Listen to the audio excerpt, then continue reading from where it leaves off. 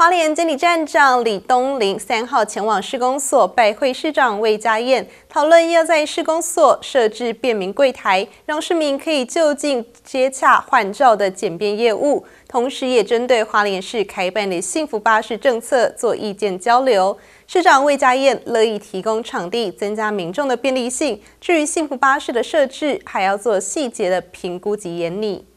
花莲监理站站长李东林三号前往施工所拜会市长魏家燕，讨论要在施工所设置便民柜台，让市民可以就近洽办换照等简便的业务。同时，也针对花莲市开办幸福巴士政策做意见交流与讨论。监理单位呃也是找这个机会来拜访一下市长，看他对我们监理业务啊是否需要呃我们的一些精进跟协助的市在对花莲市民的一些服务。那另外一个部分就是我们花莲地区呢，幸福巴士大概有十三个乡镇，有十个乡镇已经有幸福巴士了。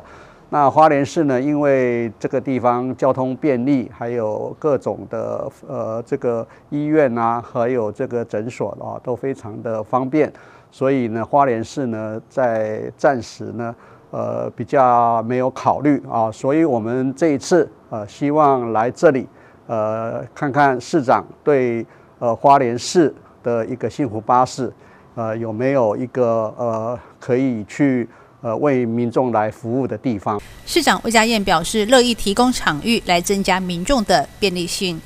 呃，今天也感谢哈我们监理站的李东林站长哈，也带着我们所有监理站的一些主管来到花莲施工所做访问哈。那刚刚也有跟讨论到哈。呃，为了便民花莲市民哈，也希望在花莲施工所做一个呃服务站。那服务站的有一些方向，就可能有包括高龄的换照，然后还有微电车的换牌，甚至于说未来在花莲高工都可以设置考机车驾照的一个场所哈。那家人这边是非常乐观其成，那花莲施工所也会全力的配合。那我们将这三项的业务哈，未来能够结合在花莲市，也希望说大家就不用跑到吉安的监理站了。那也希望能够达到便民的一个效果。